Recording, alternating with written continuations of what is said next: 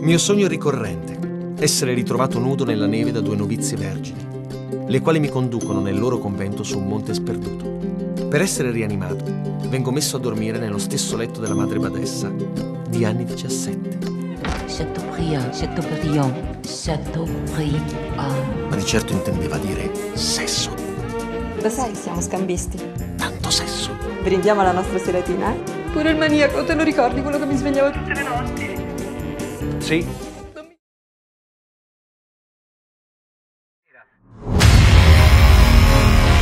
Ho una questione personale da sistemare.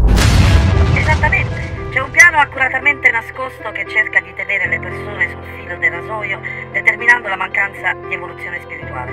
Sara, credo che qualcuno mi stia seguendo.